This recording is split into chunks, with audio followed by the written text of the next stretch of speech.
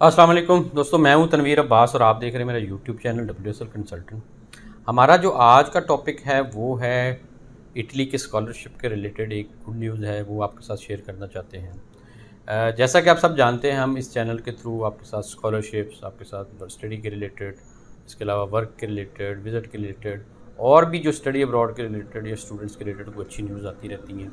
या अपडेट्स आती हैं, उनको आपके साथ शेयर करते रहते हैं। तो आज की वीडियो भी उसी एक सिलसिले का हिस्सा है कि इटली में जो स्कॉलरशिप्स हैं, उनमें एक अच्छी न्यूज़ आई है, वो आपके साथ शेयर करना चाहते हैं। वो क्या न्यूज़ है उसमें क्या, कौन सी गुड न्यूज़ है ये आप वीडियो आखिर तक देखिएगा, आपको कंप्लीट उसके बारे में इंफॉर्मेशन मिलेगी। दोस्तों, इसके अलावा अगर आप भी UK USA Canada Australia Italy या किसी भी और मुल्क में अप्लाई करने में इंटरेस्टेड हैं तो आप हमसे फ्री ऑफ़ कॉस्ट असेसमेंट करवा सकते हैं। अपने डॉक्यूमेंट्स भेजें हम आपको, हमारे दिए हुए नंबर पर डॉक्यूमेंट्स भेजने हैं, हम आपको बताएँगे कि आपका किस जगह अप्लाई हो सकता है। कौन सा कोर्स होगा, कौन सी यूनिवर्सिटी होगी, इसके अलावा क्या आपकी कॉस्ट आएगी और कितना टाइम लगेगा, ये सारी डिटेल आपको हम फ्री ऑफ़ कॉस्ट बताएँगे।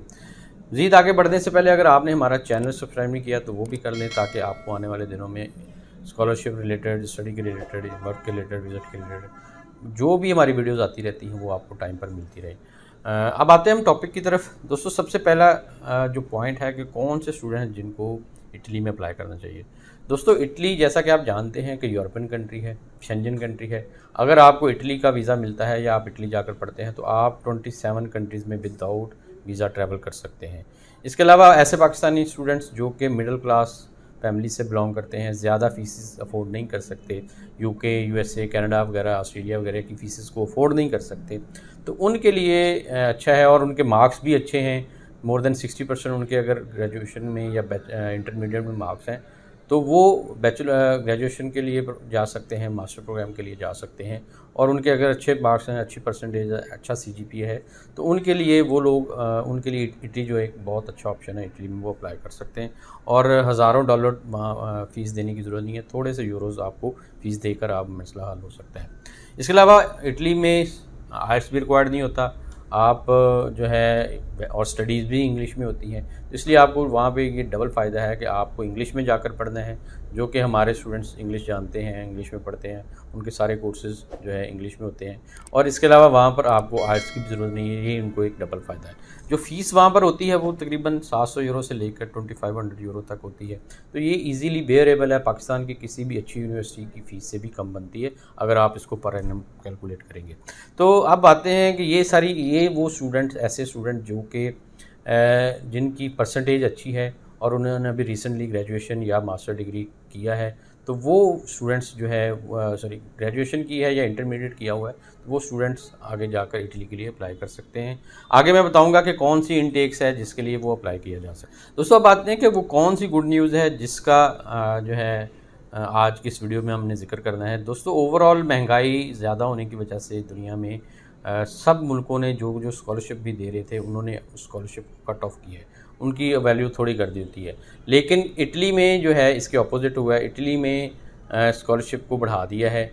आ, हम ऑलरेडी कई सारी वीडियोस में ये चीज़ डिस्कस कर रहे हैं जिनमें हमने बताया था कि कौन कौन से रीजनल स्कॉलरशिप यूनिवर्सिटी स्कॉलरशिप इसके अलावा एन की स्कॉलरशिप होते हैं वो सारे आपको इटली में जाकर मिल सकते हैं।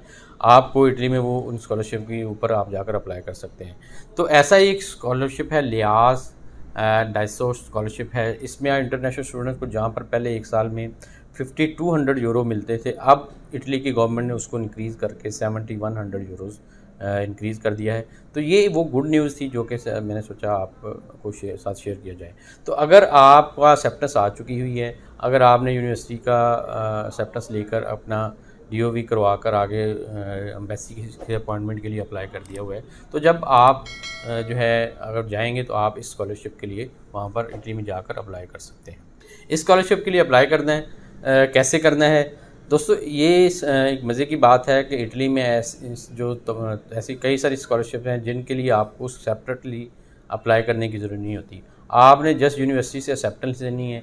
अगर आपका एडमिशन हो जाता है अगर आपको वहाँ से एक्सेप्टेंस आ जाती है तो आपका इंटर जो है उस स्कॉलरशिप के लिए जिसमें आप अप्लाई करना चाहते हैं उसके लिए ऑटोमेटिकली अप्लाई हो जाता है।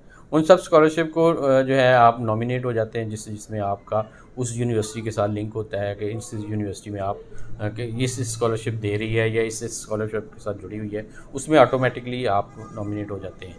इसका लेने का तरीका क्या होता है कि जब आप इटली में पहुँचेंगे, तब तब आपने एक सेपरेट सी एप्लीकेशन देनी होगी कि मुझे ये वाला स्कॉलरशिप में कंसिडर फर्दरली कर लिया जाए। तो अगर आप उसके लिए मेरिट में आ जाते हैं, आप स्कॉलरशिप के लिए बन जाते हैं तो देन आप जो है उसके लिए ऑटोमेटिकली वो स्कॉलरशिप आपको अवार्ड हो जाएगा।